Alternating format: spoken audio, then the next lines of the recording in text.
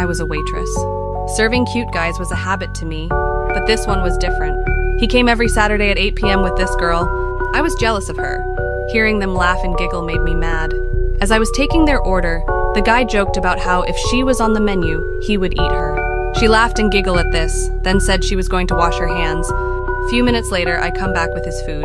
He tells me that he never saw this on the menu, and I tell him sometimes jokes become reality.